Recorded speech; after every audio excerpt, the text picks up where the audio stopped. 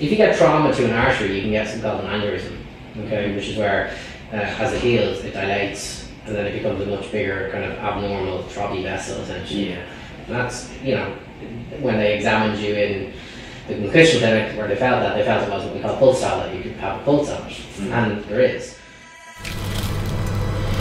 There he goes, doing what he does best. Taking the bins out.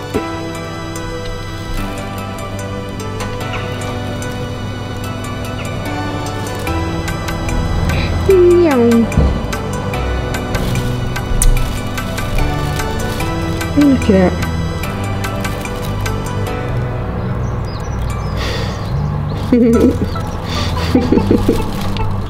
up guys, Liam here, welcome back to LSJTV. Today's video is going to be dedicated towards my concussion, or aneurysm, as it is now being referred to as by the doctor.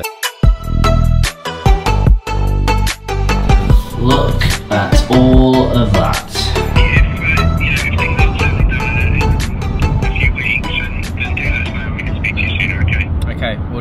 Or potential an- aneurysm. Things just aren't getting any better and it's not ideal. But the biggest question I have is what actually happened? How did this even happen? We're going to dive into that a little bit today. I'm also going to be shaving my legs. So if you fancy a laugh, whilst actually finding out some stuff that you've probably wanted to know for the past nine months, stick around. It's going to be a good one. Like, comment, share, subscribe. Let's do it.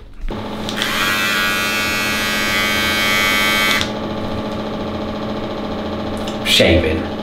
Not my face, although I am. I do need to do that as well. In fact, I should probably do that first. There's a big grin going all up my legs and then my face, isn't it? Nah. What we are going to be doing, ladies and gentlemen, is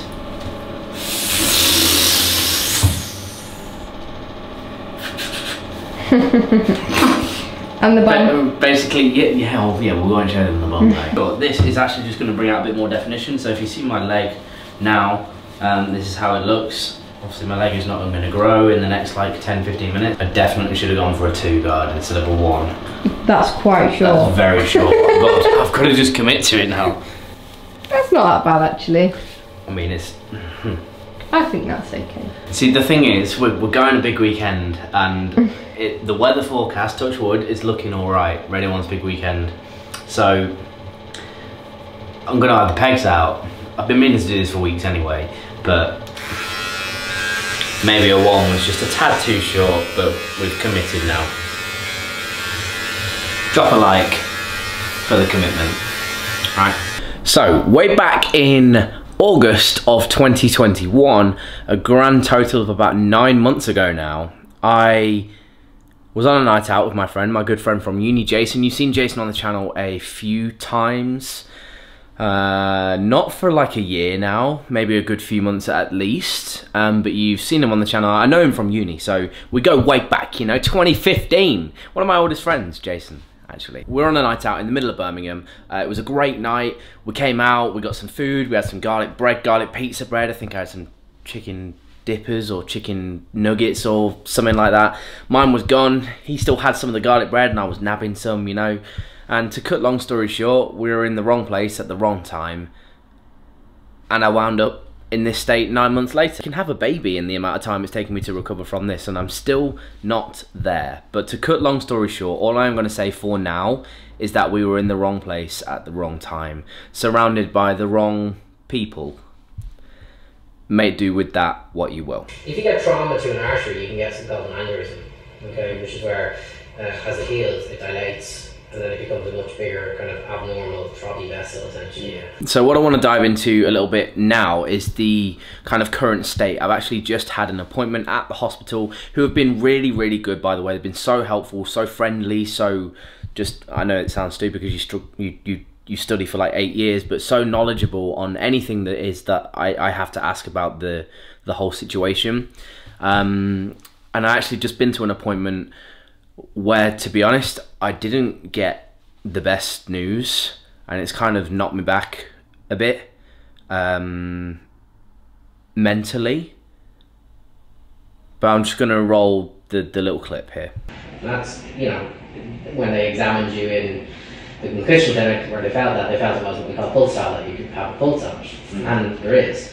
So it is a little bit difficult to say, but where you have the swelling, there is a strong pulse, and that would raise a suspicion of whether or not there is a little bit of a. Now, actually, go on here. Do we have a stethoscope?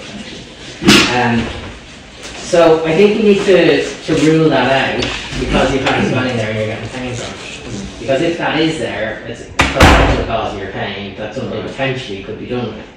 And what to do with would be basically uh, we'd have to access the area and just cut it. Now, what you're hearing is someone telling me that I may potentially, over the next few weeks, need, well, surgery. I guess it's surgery, isn't it? Right? They're just going to cut an area and like take it out. So, what they're going to do before that is actually give me an ultrasound scan. The reason being, I should not be in this physical condition nine months after what happened, right? Unless there is something a little bit more going on, like what he's talking about, an aneurysm or anything like that. Unless that is the case, I should not be feeling like this. They're going to send me for an ultrasound because they don't want to just cut into my forehead, which would leave a scar, which I also don't want. they're not, they're not just going to do that without good reason too. So they're going to give me an ultrasound to see whether that is the case, um, and we will go from there. That hit me for six. That knocked me for six. That did because that was the one thing this entire time I've really, really, really been worrying about, to be honest. Um, but here we are.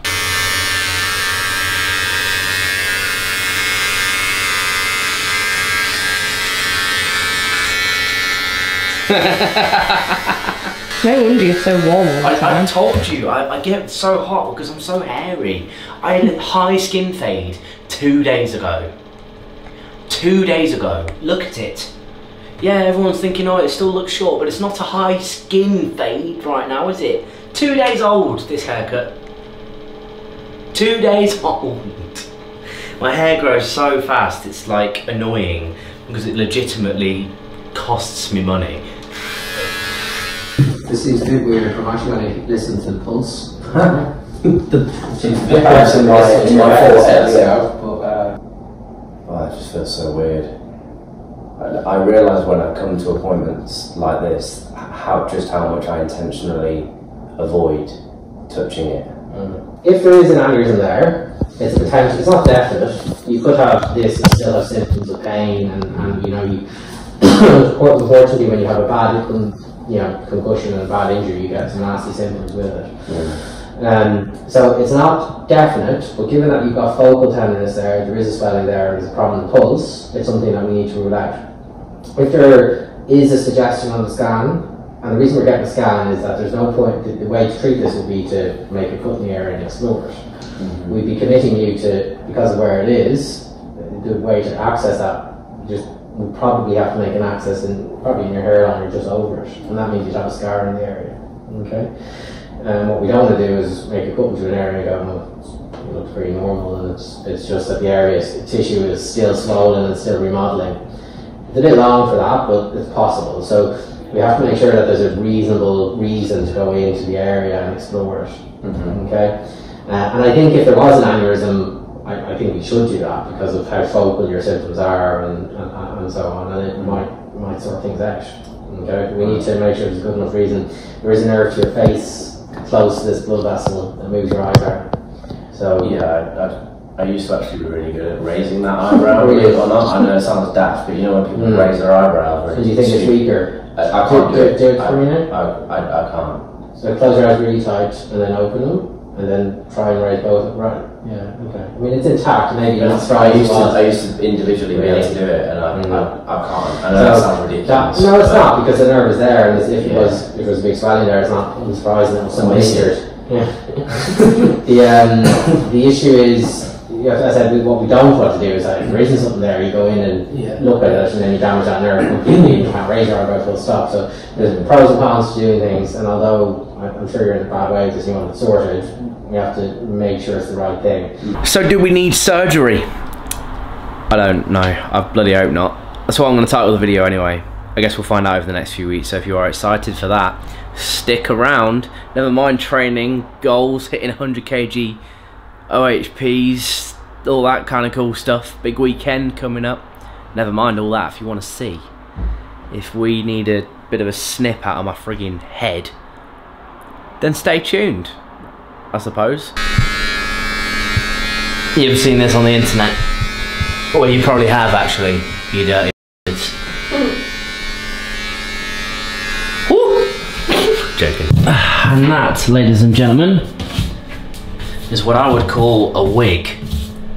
Look at all of that.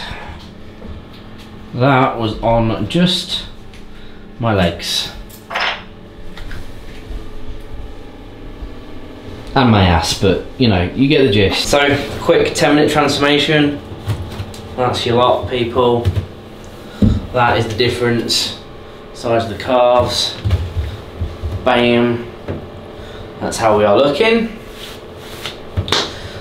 And this. This.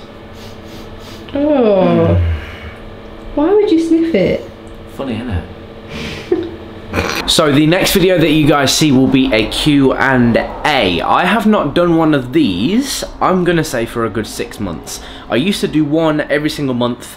I've not done one for probably since my concussion, to be honest. So probably about nine months since my last Q&A. So if you have any questions, stick them in the comment section of this video. I'll do an Instagram story by the time that you guys see this video as well. So stick any questions that you have in there and I'll be sure to get to as many of them as possible. I'm sure you have plenty of questions about this situation, maybe a question or two about Ella. And that's that. So if you have enjoyed this one, like, comment, share, subscribe. Thank you so much for watching. I appreciate it. I'll see you in the next one.